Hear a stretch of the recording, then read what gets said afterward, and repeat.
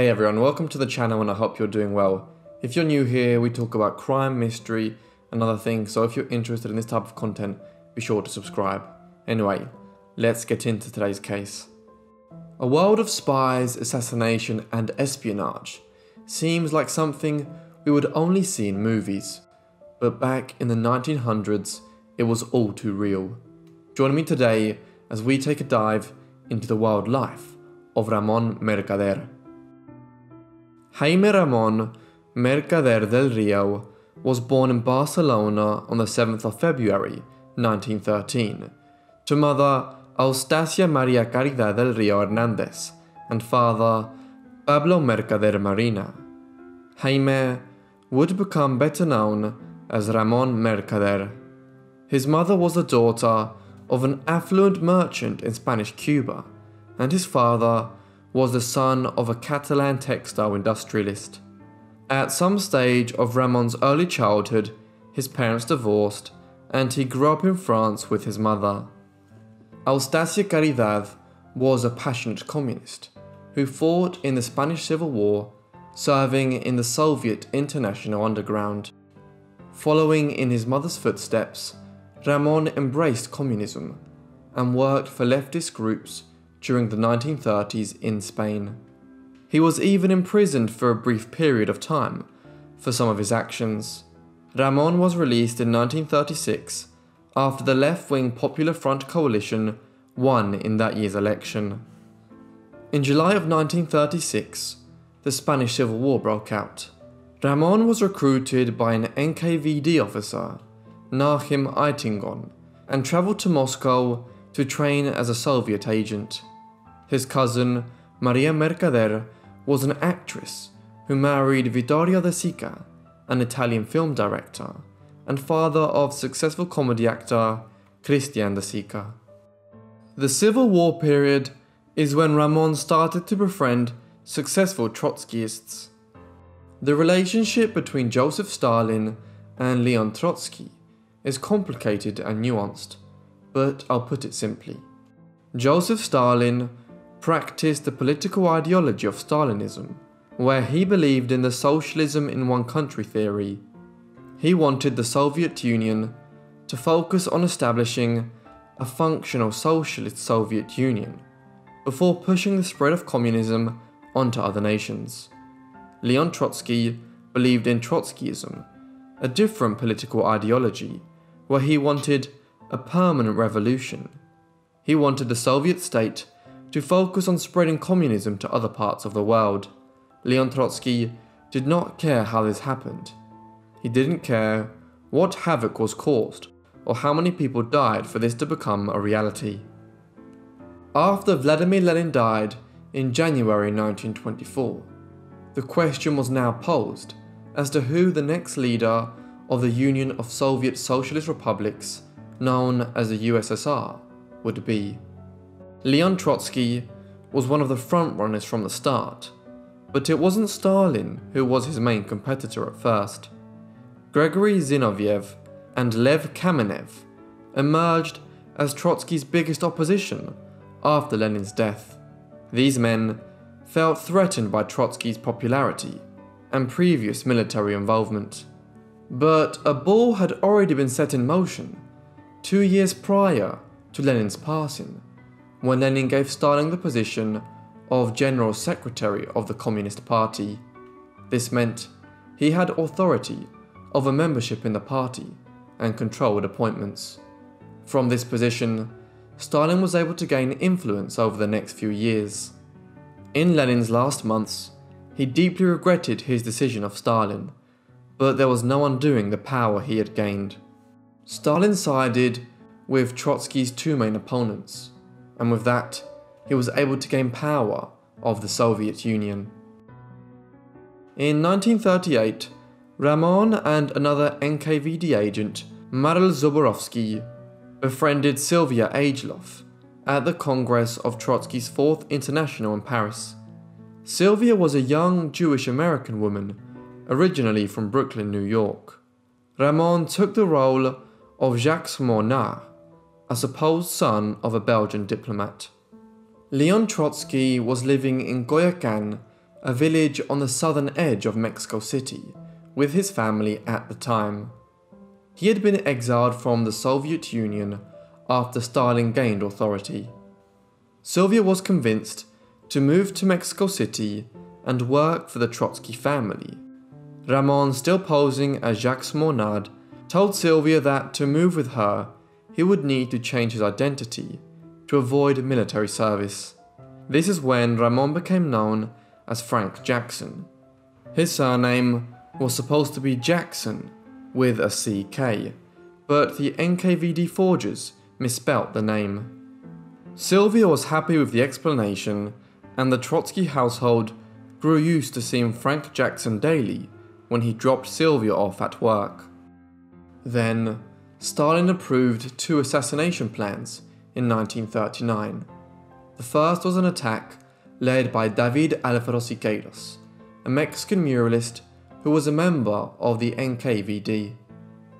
On the 24th of May 1940, David and a team of hitmen dressed as soldiers fired over 200 bullets into Trotsky's home. Shockingly, Leon Trotsky and his wife Natalia survived. What certainly would have felt like a miraculous escape wouldn't last long though. Well, what Trotsky didn't know was that a second attack was already on its way. Since the first assassination attempt failed, a second team was sent to do the job. It was headed up by Nahum Eitingon, the man who had originally recruited Ramon. Ramon and his mother were both on the team. The new plan involved sending in a lone assassin to kill Trotsky. Pavel Sudoplatov revealed in his autobiography, Special Tasks, that he chose Ramon to carry out the assassination.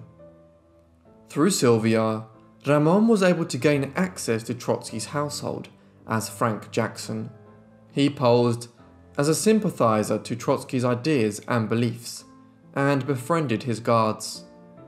Trotsky's grandson, Esteban Volkov, who was 14 at the time, remembers that Ramon as Jackson was in the house during the first attack. But there was an added complication. After the May attack, security was increased significantly at Trotsky's compound. This resulted in additional locked doors being added which were controlled by a guard tower. So, in order to escape, Ramon would have to be let out by the guards. But this wouldn't be possible if they knew that he had just killed Trotsky, which is why an ice axe was selected as the weapon of choice, to offer a silent and quick death, rather than a pistol or a knife. On August 20th, 1940, Ramon was alone with Trotsky in his study. It was his 10th visit to the home. He said he wanted to show Trotsky a draft for a magazine article that he had written. When Trotsky was looking at the document, Ramon struck him in the head with an ice axe, severely wounding him.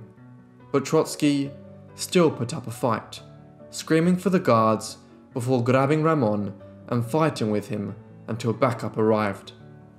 Trotsky's guards heard the commotion and burst into the office. They began to beat Ramon almost to death. Despite being so wounded, Trotsky was still conscious and ordered his men to spare Ramon's life and allow him to speak. Esteban Volkov recalls, I still remember looking through the open door and seeing my grandfather lying on the floor, with his head bathed in blood, and hearing him tell somebody to keep the boy away. He shouldn't see this. I always thought that was a sign of his humanity. Even in a moment like that, he was worried about me. Eitingon and Ramon's mother were waiting outside the house with two separate getaway vehicles. When Ramon did not return, the two sped away and left the country. Trotsky was rushed to a hospital and operated on, but died the following day. His cause of death was severe brain injury. He was 60 years old at the time of his death. The guards turned Ramon over to the Mexican authorities. He maintained his name was Jacques Mornard and told police he wanted to marry Sylvia Ageloff, but Trotsky had forbidden it. Ramon's story was that he had gotten into a violent altercation with Trotsky, which is why he wanted to murder him. As Ramon put it, instead of finding myself face to face with a political chief who was directing the struggle for liberation of the working class, I found myself before a man who desired nothing more than to satisfy his needs and desires of vengeance and of hate, and who did not utilize the workers' struggle for anything more than a means of hiding his own paltriness and despicable calculations. It was Trotsky who destroyed my nature, my future, and all my affections. He converted me into a man without a name, without country, into an instrument of Trotsky. I was in a blind alley. Trotsky crushed me in his hands, as if I had been paper. Sylvia had also been arrested by Mexican authorities as an accomplice since she had been living with Ramon on and off for two years, leading up to the assassination. Those charges ended up being dropped. In 1943, three years after the assassination, Jacques Mornard was sentenced to 20 years in prison for the murder of Leon Trotsky. His real identity came out after the fall of the Soviet Union, and it was finally known that Ramon Mercader was who had really committed the murder. Soon after the assassination, Ramon's mother, Eustacia Caridad, was presented the Order of Lenin for her role in the operation. After serving a few years of his sentence, Ramon requested to be released on parole, but this was denied. Ramon's mother personally applied to Stalin for Ramon to be released. Unfortunately for Ramon, it was not that simple, but Soviet handlers made sure that Ramon was as comfortable as possible. They sent him money weekly and even arranged a girlfriend for him, a Mexican starlet whose name was Rogelia. The couple got married and later had two children together. After serving close to his 20 year sentence, Ramon Mercader was released on May 6, 1960. From Mexico, Ramon moved to Havana, Cuba with Rogelia. Here, he was welcomed by Fidel Castro's new socialist government. In 1961, at the age of 48, Ramon travelled back to the Soviet Union and was presented the Hero of the Soviet Union, the country's highest decoration. He was given this personally by the head of the KGB, Alexander Shelepin. For the remainder of his life, Ramon Mercader split his time between Czechoslovakia, Cuba, where he worked as an advisor for the Foreign Affairs Ministry, and the Soviet Union. The murder weapon was stored in a Mexico City police evidence room for several years after the assassination. At some stage, the ice axe was checked out by a secret police officer, Alfredo Salas. He claimed he wanted to preserve the item. Alfredo later passed the axe on to his daughter, Ana Alicia. It remained under her bed for 40 years. In 2005, she decided to put it up for sale. Esteban Volkov offered to give blood for a DNA test to authenticate the weapon, but only if it was donated to the museum at Trotsky's home. Anna declined the offer, mentioning that she wanted some financial benefit. As she put it, I think something as historically important as this should be worth something, though.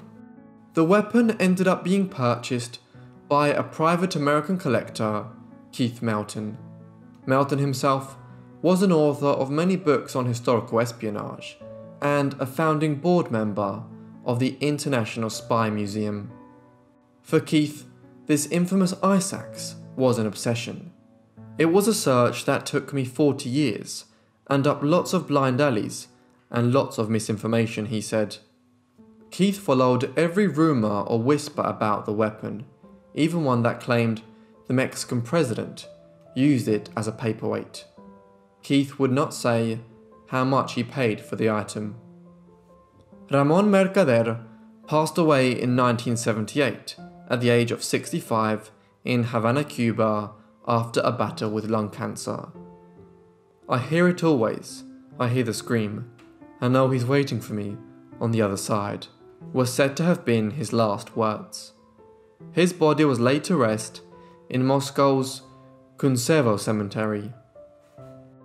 Thank you everyone for watching this video on Ramon Mercader and Leon Trotsky. I hope you found it interesting. Let me know what you thought of the case down below in the comments and if you have any suggestions, also be sure to leave them in the comments. I hope you guys have notifications on so you get all my videos as soon as I upload them. And anyway, that's all from me, so I'll see all of you in the next video. Thanks.